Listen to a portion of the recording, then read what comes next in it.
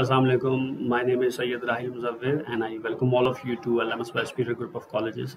So chapter 11 के हम topic study कर रहे थे और हमने लाइट रिएक्शन तक पढ़ लिया था। आज का जो टॉपिक है हमारा वो एक छोटा टॉपिक है, लेकिन इंटरेस्टिंग है और conceptual so this is about dark reactions और also known as Calvin Benson cycle और सी थ्री पाथवे और कैल्विन साइकिल तो बहुत सारे नाम है इसके। सो डार्क रिएक्शंस कहते हैं इसको कैल्विन साइकिल बोलते हैं। शुगर सेंसिस फेस कहा जाता है लाइट इंडिपेंडेंट रिएक्शंस कहा जाता है। सो ये होता क्या है जी स्ट्रोमा में साइक्लोरोप्लास्ट के स्ट्रोमा में, और इस प्रोसेस को जो इनिशिएट करता है, वो है रिबिस्को एंजाइम रिबिस्को एंजाइम के पास दो एक्टिव साइट्स होती हैं, एक ऑक्सीजन को बाइंड करने के लिए और एक कार्बन डाइऑक्साइड को बाइंड करने के लिए। तो और ये सबसे अबंडेंट प्रोटीन है ज़मीन के ऊपर। अब इस प्रोसेस के तीन फ़ेज़ हैं। पहला फ़ेज़ है कार्बन फिक्सेशन दूसरा है रिडक्शन और तीसरा है regeneration of carbon dioxide acceptor जिसको बोलते हैं राइबोलोज बिस फॉस्फेट तो पहले प्रोसेस में कार्बन फिक्सेशन में राइबोलोज बिस फॉस्फेट यानी कि ये फाइव कार्बन शुगर है, इसमें कीटोन ग्रुप है और इसमें दो फॉस्फेट ग्रुप अटैच है। इसके तीन मॉलिक्यूल्स हैं। अच्छा अब होता क्या है कि एक मॉलिक्यूल है राइबोलोज बिस फॉस्फेट का, एक मॉलिक्यूल है कार्बन डाइऑक्साइड का। तो पाँच कार्बन राइबोलोज बिस फॉस्फेट के, एक कार्बन कार्बन डाइऑक्साइड का तो एक सिक्स कार्बन कंपाउंड बनता है।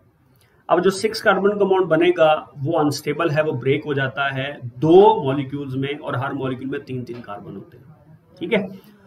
अब अगर इसी तरीके से तीन मॉलिक्यूल्स हो राइबोलस बिस्फॉस्फेट के, तीन मॉलिक्यूल्स हो कार्बन डाइऑक्साइड के तो तीन सिक्स कार्बन मॉलिक्यूल्स बनेंगे।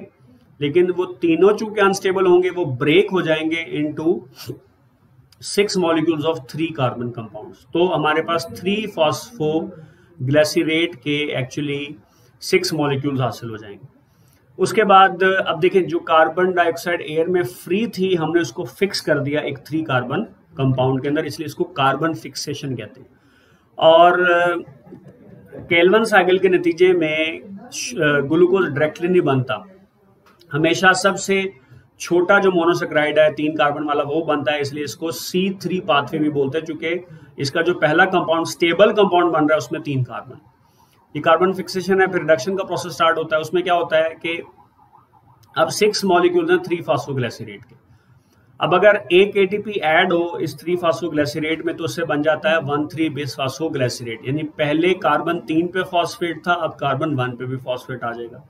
तो अगर छह मॉलिक्यूल्स हो थ्री फास्फोग्लाइसरेट के तो छह ही एटीपी रिक्वायर्ड हैं ताकि छह मॉलिक्यूल बन सके वन थ्री बेस फास्फोग्लाइसरेट के।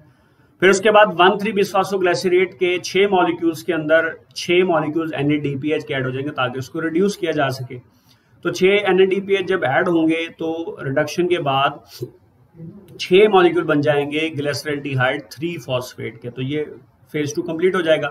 अब छह मॉलिक्यूल्स हैं जी थ्री पी के, उसमें से एक मॉलिक्यूल निकल जाता है और वो आगे चला जाएगा और उसको शुगर सेंसिस में सुक्रोज बनाने में ग्लूकोज सुक्रोज बनाने में रोल प्ले करेगा।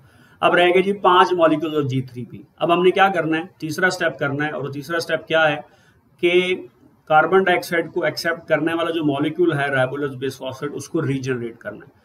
तो बुक ने लिखा है कि five molecules of three carbon G three P are converted into three molecules of five carbon ribulose phosphate तो एक यहाँ पर मॉलिक्यूल बनता है जिसको बोलते हैं राइबोलोस फॉस्फेट बिस फॉस्फेट नहीं राइबोलोस फॉस्फेट यानी पाँच कार्बन का एक कंपाउंड है और उसमें एक ही फॉस्फेट मौजूद होता है।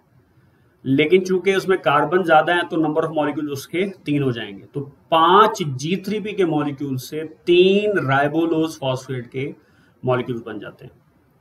अभी प्रोसेस कंप्लीट नहीं हुआ। अब अगर एक मॉलिक्यूल हो राइबोलोज फॉस्फेट का और उसको कन्वर्ट किया जाए राइबोलोज बेस फॉस्फेट के एक मॉलिक्यूल में तो एक एटीपी चाहिए। अगर दो मॉलिक्यूल हो तो एक, दो एटीपी चाहिए होंगे। अगर तीन मॉलिक्यूल्स हो राइबोलोज फॉस्फेट के और आपने उसको कन्वर्ट करना है थ्री मॉलिक्यूल्स और राइबोलोज बेस फॉस्फेट तो तीन एटीपी रिक्वायर्ड है, इसलिए यहाँ पे तीन एटीपी लिखे हैं, ये ऐड होंगे तो राइबोलोज बेस फॉस्फेट बन जाएगा। तो इस तरीके से ये प्रोसेस चलता है, जिसको डार्क रिएक्शन या कैल्विन साइकिल कहते हैं, जिसके नतीजे में शुगर मॉलिक्यूल सेंथेसाइज होता है। सो मुझे यकीन है कि आपको ये टॉपिक समझ आए होंगे। अगर नहीं समझ आए तो ज़रूर कमेंट सेक्शन में पूछ सकते हैं। इंशाल्लाह आपसे नेक्स्ट लेक्चर में मुलाकात होगी। अपना ख्याल रखिएगा।